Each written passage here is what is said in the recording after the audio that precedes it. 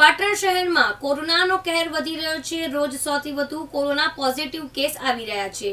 ત્યારે રાત્રે ધારપુર હોસ્પિટલમાં બેડ ભરાઈ જતા હોસ્પિટલની બહાર સારવાર અર્થે ઇમરજન્સી સેવા એકસો આઠમાં લાવેલા દર્દીઓની લાઈનો લાગી હતી. દર્દીઓ એકસો આઠમાં ઓક્સિજન સાથે બેડની રાહ જોવા બેસી રહ્યા હતા.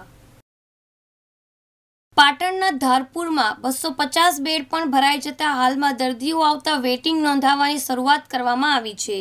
જેમાં મંગળવારે નેવ દર્દીઓનું વેટિંગ નોંધાયું હતું. બેડ ખાલી થતાં ઓપીડીમાંથી બહાર હાજર હોય તેવો દર્દી અથવા અન્ય દર્દીઓને વોર્ડમાં દાખલ કરવામાં આવી રહ્યા હતા. વધુ જરૂરિયાતવાળા દર્દીઓને વેટિંગ ના રાખી તેમને અન્ય હોસ્પિટલમાં લઈ જવા સલાહ અપાઈ હતી. અથવા જો શક્ય હોય અને વ્યવસ્થા થાય તો દાખલ કરવાનો પ્રયાસ કરાય છે. તેવું સુપ્રિન્ટેન્ડન્ટ ડોક્ટર મનીષા રમાવતે જણાવ્યું હતું.